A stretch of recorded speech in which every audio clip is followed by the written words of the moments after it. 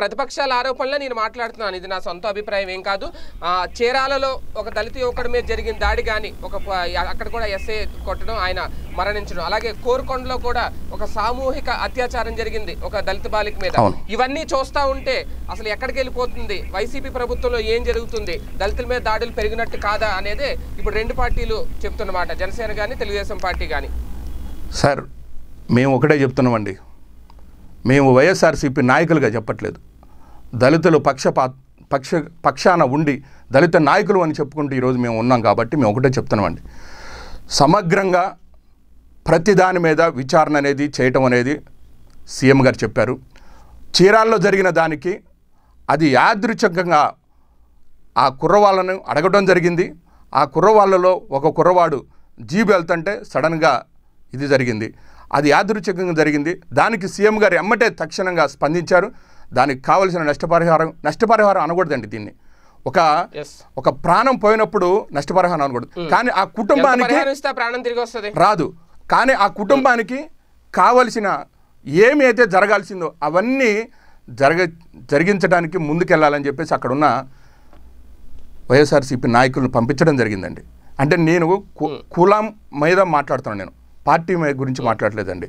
మా బిడ్డలకు మాకు అన్యాయం జరిగితే ఈరోజు స్పందిస్తున్న ఒక రాష్ట్ర నాయకుడు ఒక గౌరవప్రదమైన ముఖ్యమంత్రి వర్యులను మేము ఈరోజు మేము ఒక పక్కన చాలా గొప్పగా చెప్పుకుంటున్నామండి. ఎందుకంటే ఏ రోజు కూడా మాకు ఇబ్బంది జరిగింది అంటే పోలీసు వారి పక్షాన నుంచి న్యాయం జరగలేదు ఐదేళ్ళు ఇరవై ఏళ్ళు సుదీర్ఘమైన పాలనలో.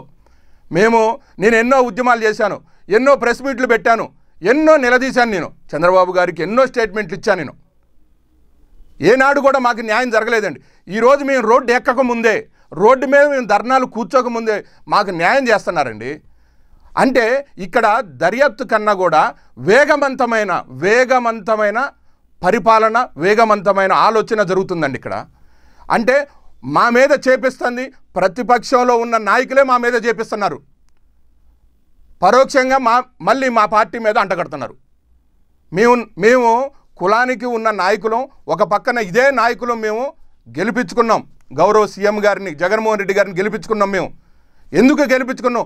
మాకు మాట ఇచ్చాడు కాబట్టి గెలిపించుకుని ఈరోజు ఆ సుపరిపాలన మాకు స్వర్ణ స్వర్ణయుగం అనే విధంగా మేము ఈరోజు బతుకుతున్నాం. మా బిడ్డలు ఈరోజు ప్రతి ఒక్కళ్ళు ఉద్యోగం చేస్తున్నారు ఇంటర్మీడియట్ పాస్ అయిన ప్రతి బిడ్డ కూడా గౌరవప్రదంగా గ్రామాలలో వాలంటీర్లు చేస్తున్నారు.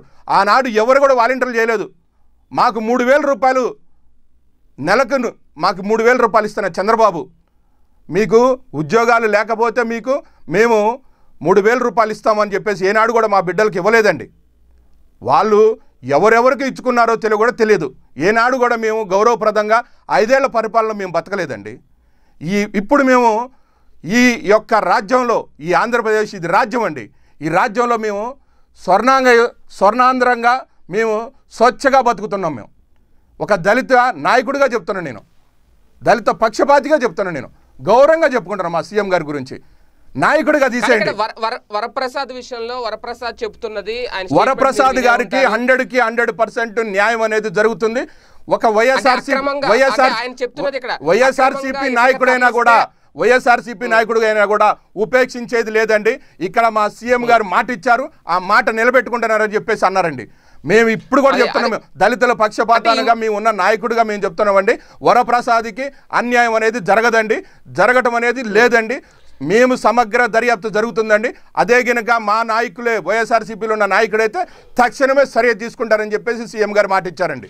ఎస్ ఖచ్చితంగా న్యాయం అయితే జరగాలి న్యాయం జరగాలనే కోరుకుందాం. కానీ ఇన్సిడెంట్ వెనక అక్రమంగా ఇసుక లారీలను తరలిస్తే అడ్డుకున్నందుకే తనని అరెస్ట్ చేశారు. అరెస్ట్ చేసి కావాలని బెల్ట్తో కొట్టించి శిరోముండనం చేశారు. అసలు ఏం జరిగింది అనుకోవాలి దీని వెనకాల?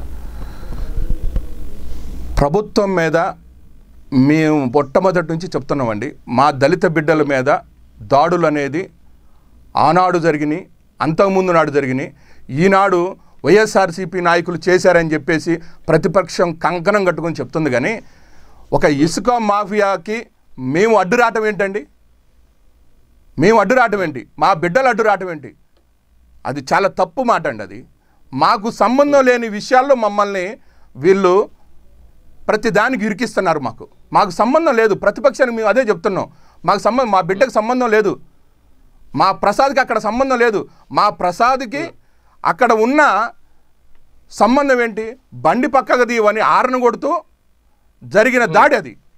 ఇసుక మాఫియాకి బండి పక్కన పెట్టు బండి తీసేయి ఐదు నిమిషాలు ఉండని చెప్పేసి మా బిడ్డ అంటే ఇతనికి కోపం వచ్చి అతన్ని కొడితే ఇంకా ఎస్ఐ వేరే నాయకుడికి ఫోన్ చేసి మాట్లాడేశాడని చెప్పేసి ఇంత కట్టుకథ కట్టారు. ఎందుకండి? మా మీద నిజంగానే దాడి జరిగింది. మేము ఒప్పుకుంటాం మా మీద నిజంగానే దాడి జరిగింది. ఆ దాడికి బాధ్యులైన వారిని మేము తక్షణమే అరెస్ట్ చేయమని చెప్పేసి అడుగుతాం. మరి అరెస్ట్ చేయమని అరెస్ట్ ఒక్క ఒక్క నిమిషం సార్. ఒక్క- మాట సార్. ఒక్క మాట సార్. అరెస్ట్ చేయమని చెప్పి మేము పోరాటాలు చేయకముందే అరెస్టులు జరుగుతున్నాయి జరిగినాయి. సస్పెండ్లు అయినారు తక్షణమే దర్యాప్తు జరుగుతుంది. ఇంకా మీరు కొన్ని రోజుల్లో అది కూడా ఆ నాయకుడు ఎవరు అని మీరేం చెప్తున్నారు కదా మీరే చెప్తున్నారు కదా నాయకుడు ఎవరు నిజంగా నాయకుడే కనుక ఉంటే అరెస్ట్ అనేది తప్పదండి. సీఎం గారు అసలుకి అన్యాయానికి తావులేదండి న్యాయం అనేది తక్షణమే దళితుల బిడ్డల పక్షాన చేయడానికి ఆయన కంకణం కట్టుకుని కూర్చున్నారండి.